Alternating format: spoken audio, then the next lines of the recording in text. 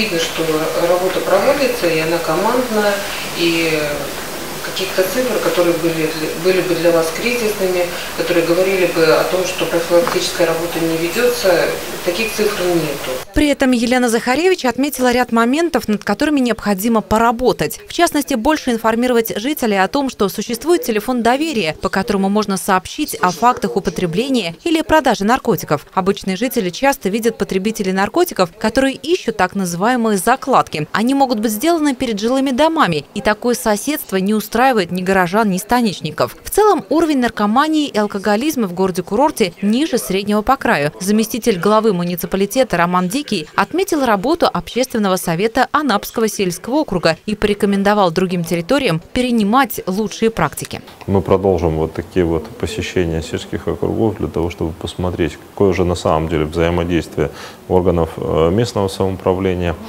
территориальных органов самоуправления, советов общественности с участковыми полномоченными полиции, да, с теми сотрудниками, которые э, борются с распространением наркотиков. И, может быть, посмотреть, какое взаимодействие с образовательными организациями, с учреждениями спортивной направленности, для того, чтобы а, максимально задействовать все э, возможные ресурсы и средства для борьбы с наркоманией и наркобизнесом на территории муниципального образования.